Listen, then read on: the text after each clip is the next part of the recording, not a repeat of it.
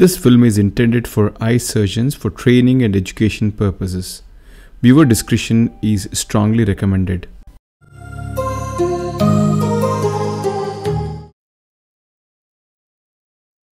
Hi, I'm Dr. Deepak Megur and today I'm going to share an unusual intraoperative complication and let's try to analyze why it happened and uh, once it happens how to proceed further.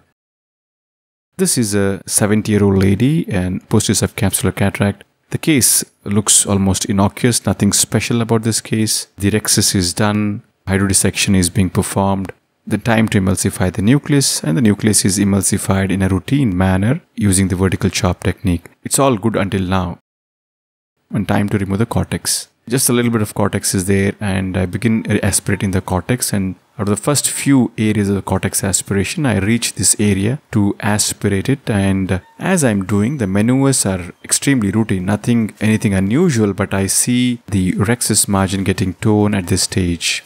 So that was surprising because there was nothing unusual about the maneuvers which I was doing. I really couldn't understand why it happened. So maybe I was suspecting something wrong with the finishing of the cannula. Uh, that could be the reason. Now, once the capsule is torn, what are my strategies here? My first goal is to ensure that the chamber does not shallow because even though it is at the fag end of the surgery, if I'm a little bit careless, uh, there is a chance that this tear can extend radially beyond the equator and reach the posterior capsule and cause a posterior capsular tear as well. So my goal is to ensure that the chamber equilibrium is maintained throughout. So before removing my irrigation handpiece, I go ahead and inject OVD so that the chamber does not collapse suddenly.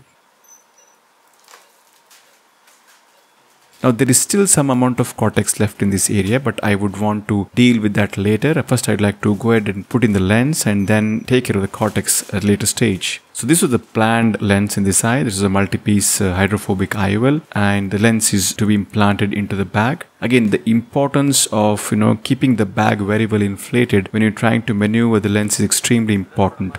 As I'm trying to inject the lens into the eye, I feel that the bag has collapsed a little bit. So I stop my implantation process and use OVD to refill the bag and try to pressurize it and push it back a little bit. I don't want the posterior capsule be projecting up because it could complicate things much more and in fact I could still have a posterior capsule tear while managing these haptics of a multi-piece lens. So it's very important to realize that the bag might not be very well distended and I take care to reform it. Once the bag is well formed and the posterior capsule is not taut and has been pushed back, maneuvering the lens into the bag becomes much more easy and less traumatic to the capsular bag as well as the posterior capsule. Once the lens looks well settled in the bag, time to deal with the cortex in the other area. Now before that, I'm go ahead and check the cannula whether it has got any rough edges or something. It doesn't seem to be having one. So I just go ahead and use the same cannula. And as I'm aspirating this last bit of cortex, again the same thing happens. So although it was not evident microscopically, a problem was really with the cannula itself. So that's what I drew the final conclusion.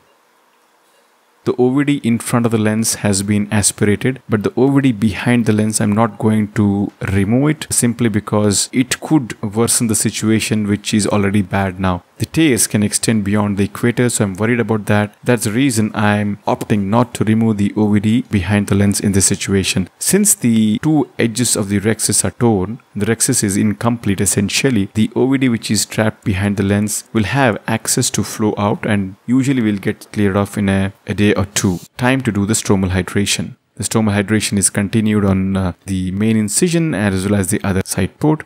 The lens looks to be well centered and stable. The conclusion with this case was aspiration cannulas which are not having good finishing can be the culprits causing these rhexis tears during cortex aspiration.